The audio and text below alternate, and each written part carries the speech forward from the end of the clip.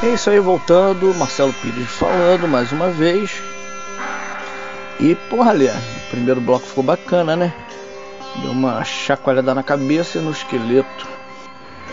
E continuando nossa viagem psicodélica retrospectiva 2021 com os pedidos, as músicas mais pedidas pelos nossos ouvintes exploradores da mente. E é claro, muita poesia, porque os fascistas odeiam poesia. Até daqui a pouco, rapaziada. Relaxe, feche os olhos e acenda os sentidos e. Segue o sol.